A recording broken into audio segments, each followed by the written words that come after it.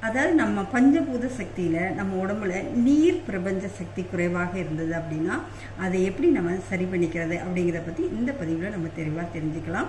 அதுக்கு நீர் பிரபஞ்ச சக்தியை நம்ம அதிகப்படுத்திக்கிறதுக்கு நம்ம வந்துட்டு நம்ம எனர்ஜி வாட்டராக குடிக்க வேண்டும். எடு எனர்ஜி வாட்டர் அப்படின்னா என்னென்னா நம்ம நார்மலாக வந்துட்டு எ- எந்த தண்ணி வேணாலும் எடுத்து சாப்பிட்டுட்டு இருப்போம். அப்படி இல்லாமல் பியூரிஃபைடு வாட்டர்லாம் நம்ம வாங்கி குடிக்கக்கூடாது அதில் வந்து எனர்ஜி லோவாக தான் இருக்கும்.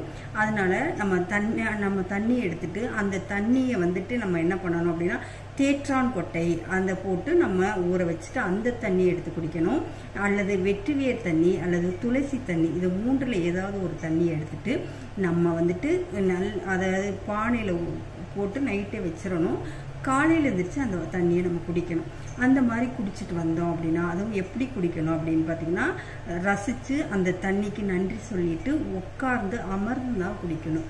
அந்த மாதிரி குடிச்சிட்டு வந்தோம் அப்படின்னா நம்மளுடைய உடம்புல வந்து நீர் பிராண சக்தி வந்து அதிகமாயிடும். அதிகமாகி நீர் சம்பந்தமான எந்த பிரச்சனையாக இருந்தாலும் அதை சரி பண்ணி கொடுக்கும். அப்படிப்பட்ட ஆற்றல் மிக்கது தான் இந்த நீர் பிரஜ பிரபஞ்ச சக்தியை நம்ம அது சம்பந்தமான நோய்கள் அனைத்தையும் நம்ம தீர்க்க முடியும். நன்றி.